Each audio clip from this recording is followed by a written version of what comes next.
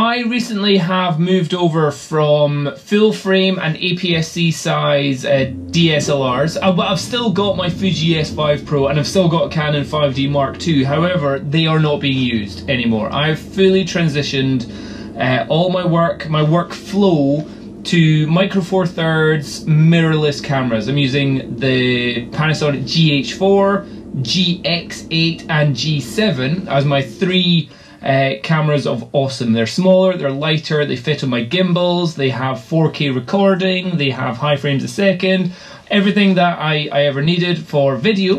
And their photos, uh, I use them for, I use the GX8 for my property work.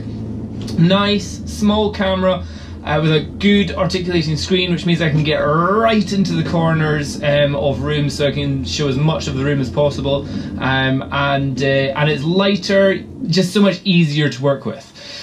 So I'm a big fan of mirrorless Micro Four Thirds. Um, camera equipment at the moment and what I would say is that I'm seeing a lot of uh, Facebook group posts where people are asking if anybody else has done this. So I'm part of quite a few photography Facebook groups, and over and over, I hear, especially people who have gone to Fuji. Um, I hear a lot of people saying that they've got the X-T1 and they use that for everything now, and they're just, and but they've got like a Nikon D800 sitting in a cupboard doing nothing. They're going, am I brave enough to get rid of my DSLRs and go full mirrorless. And I would say, actually, at the moment, from the reports I've been hearing from other photographers, for image quality, the Fuji X system, the X-T1 uh, Pro 1, Pro 2 that have come out,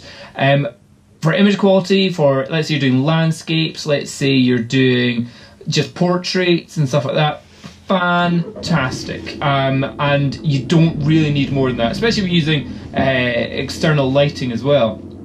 If you, however, do weddings, oh, you can, but the reliability of a DSLR and the autofocus accuracy, I would say, is still superior in the DSLRs. Uh, so if I if you had a a wedding to shoot, I would say definitely be renting a D750 or D800 or D810 um, if you're doing that because uh, they they definitely will help in situations. Certainly with weddings, you have no idea what si- situation you're going to be walking into.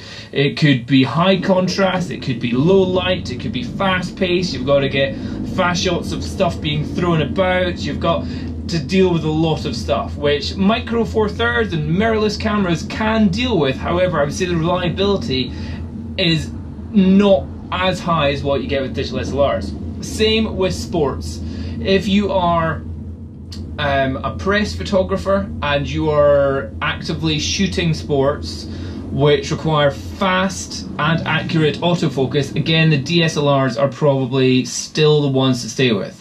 However, other than weddings and other than fast action sports, Micro Four Thirds or APS-C size mirrorless cameras are I would say the cameras to get. If you've got a DSLR just sitting in your cupboard, I would fully just say, yeah, time to just sell it. Time to just get rid of it because the image quality you're getting from the not like even the last generation of mirrorless cameras is so good that holding on to a big dinosaur that is a DSLR is just money slowly dripping away. Sell it, get some more lenses. Sell it, get another Micro Four Thirds, or get another Fuji camera or something like that. But I would say you're unlikely to get better image quality for the majority of the shot. Like so, there are some shots where you will get better image quality, but for again, you're looking at it from a photographer's point of view. A lot of the time, nobody will see the difference